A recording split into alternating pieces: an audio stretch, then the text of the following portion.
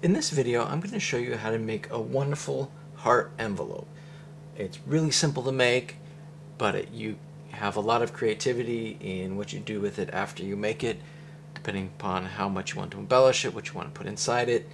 Anyways, it's a great envelope, it's uh, very easy to make, and it, uh, it you can make it from a sheet of 8.5 by 11 paper. And the paper that I'm going to use for this demonstration is a really nice velour paper. It's got a nice fuzzy surface on one side and then kind of just a standard backing paper on the other. You can uh, get your own velour paper at um, the website I get it from is kidscraftsplus.com. Your local art store might sell it. Uh, they use it for um, charcoals or pastels. Anyways, it's a great paper. Uh, the the nice fuzzy finish makes makes it uh, have a little extra edge of class to it. Anyways, uh, so to get started, again, this is a standard 8.5 by 11 sheet of paper. I'm going to use um, a ruler and pencil just so that uh, we don't have uh, the extra folds for construction, but if you wanted to do it pure origami style, you could find the landmarks just folding it, but that's really not the purpose of this tutorial. So we're going to start with the side that we want inside the envelope uh, down. And what we're going to, the first thing we're going to do is just fold it in half. Doesn't matter which side is up when you do this. For the most part, this is just a guide fold, but it doesn't show up on the front of the model when you're done folding it. So go ahead and just fold it. If you really wanted to, you could also uh, measure that out and draw it, but no really point in doing that. Okay, now that we've done that, what we need to do is since uh, the paper is eight and a half, we want to mark out the, the square of that on the bottom, which is eight and a half. So on this, we mark out eight and a half right along this edge. And I will mark all the side on the sides as well. You may not need to do that, but I like to do that just so I can line things up.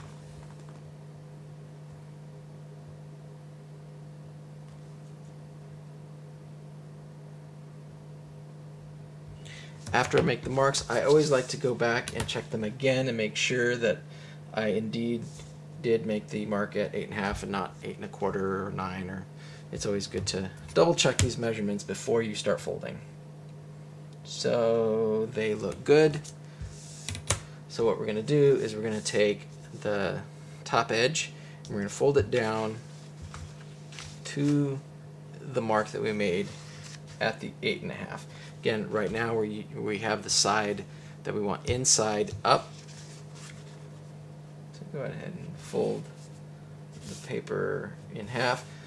And the reason why, again, the way I made the marks on the side is this really helps me make sure that I'm making this fold as straight as possible. I go ahead and open that up, and now I'm going to fold this to that crease that I just made.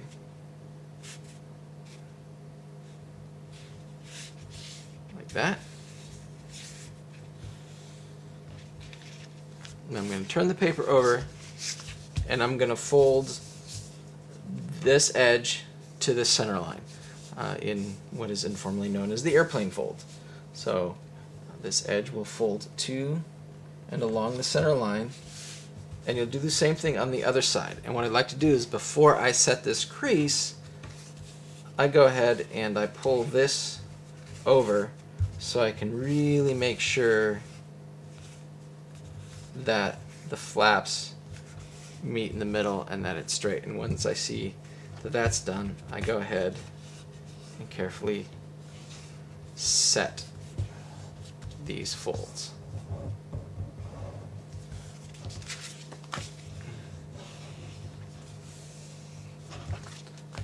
Okay, now that I've done that, what I'm going to do is I'm going to take this point and I'm going to fold it down to the mark that I made at the eight and a half distance from the top. And when we do that, we're not going to put a hard crease here. So this is a slightly tricky thing. It's not that difficult, but so as we fold it, we're not going to fold hard across here. You can fold hard across this part right here and this part right here because that won't be part of the heart design. Okay, now that we have though just this part, this part here, and this part here creased, we can turn it over and we're gonna open up this flap. And we can go ahead and set the inside of the flap. We can go ahead and set this crease. And we're gonna squash this aligning this center crease with this edge right here as we push that down and we set those creases. We do the same thing on this side where we take this flap here and we want to pull it against this edge here as much as possible. So we pull it down and we set this crease on the inside expanding this out and then squashing this down so that this crease here lines up along this edge here. Fold that down and we set that crease. And then while we're here, we're going to take, and you can see this, I actually, uh, this crease does not line up with this exactly. I can go ahead and adjust that. If it doesn't line up exactly, it's really not disastrous. You'll you'll survive. Things will be okay. And now we're going to take this corner, we're going to fold this edge along this crease. Just fold the corner over. And depending upon the thickness of your paper and how well you set the creases, this may or may not come to an exact point. In theory, it should come to an exact point, but as you can see, mine does not, and that's okay. Again, we're going to do the same thing on this side. Just fold this here. And then we're going to take the point that we just made and we're going to fold it down to this crease here.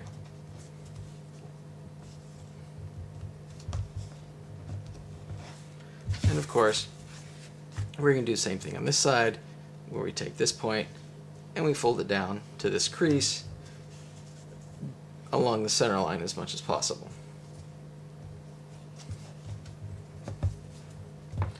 Okay, then when we turn it over, you will see the heart.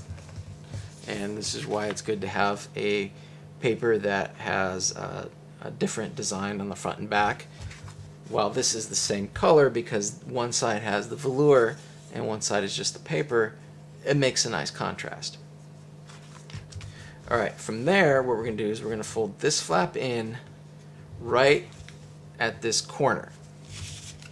So the way we're gonna do that is we're gonna fold along, making a 90 degree corner there. And while it's tempting to line this up with this flap, chances are, uh, because of the thickness of the paper, that is not the angle you really want.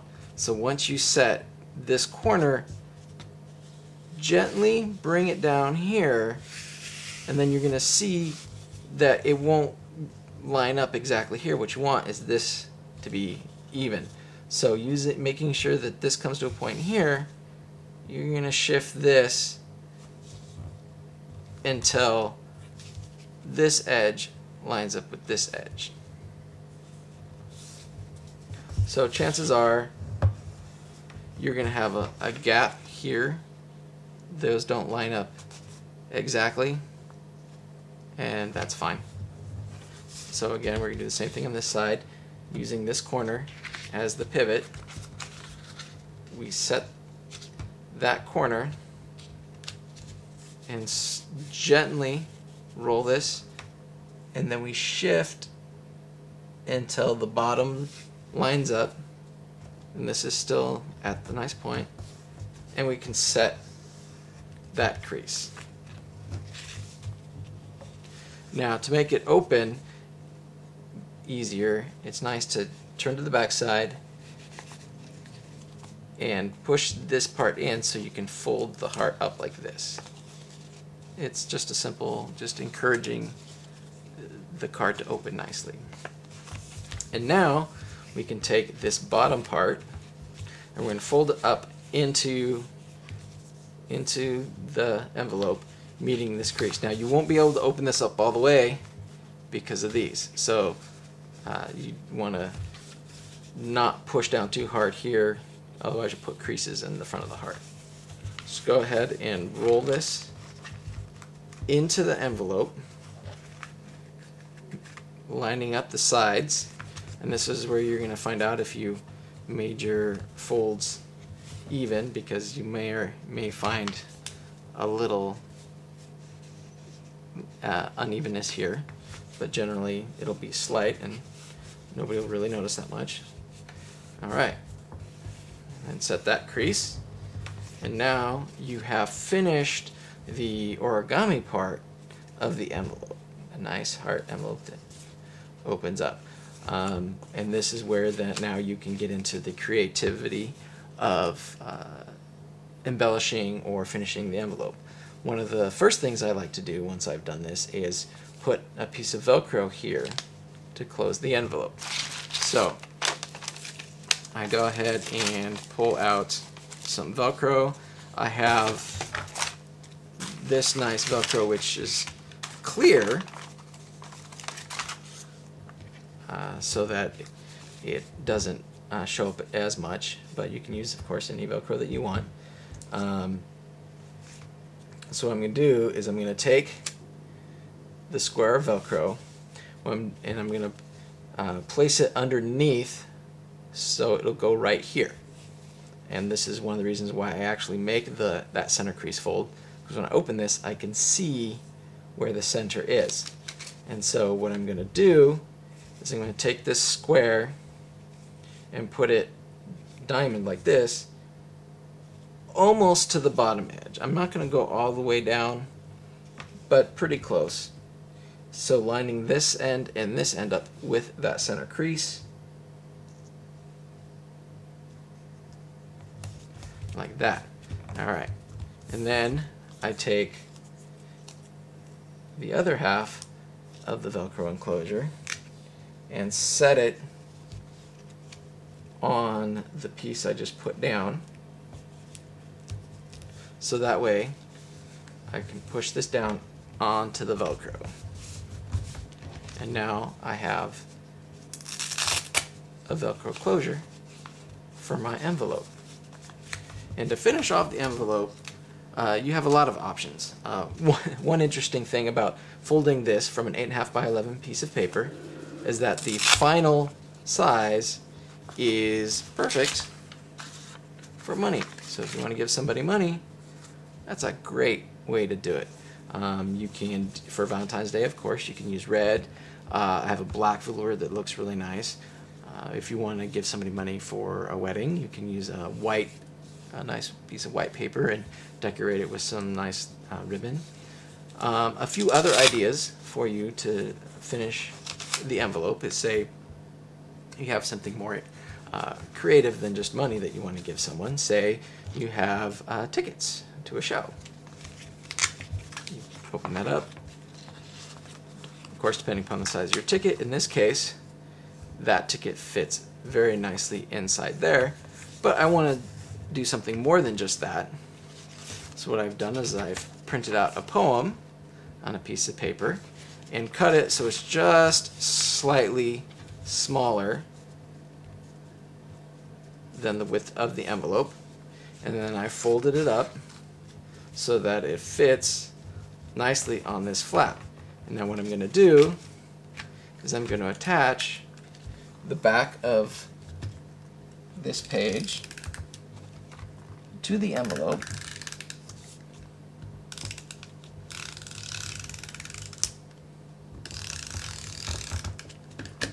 And what that's going to do also is when I close this, is going to turn this into a nice pocket for whatever it is that I want to put in there. So I carefully line this up just below the crease.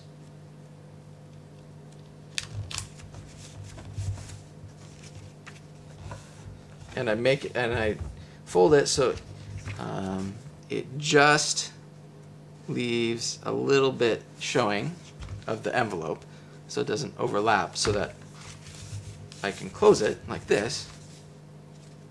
And of course you can also decorate the front. Um, sometimes uh, you can use uh, stickers. Uh, you can put somebody's name on it. Um, you have all sorts of embellishing options. Hearts can go there. I'll leave most of that up to your imagination. Uh, sometimes, though, I do like to put a little something here and here to really emphasize the heart. The backside of the paper here and here helps uh, define the shape as well. But as you can see, uh, it's fairly noticeable uh, as is. So, in this case, you open it up. You would have, in this case, the ticket that uh, I'm giving as a gift, and you have the poem. So this makes a very nice uh, Valentine's envelope, or why limit yourself to Valentine's Day? Anytime you want to show someone your appreciation. So uh, good luck with this.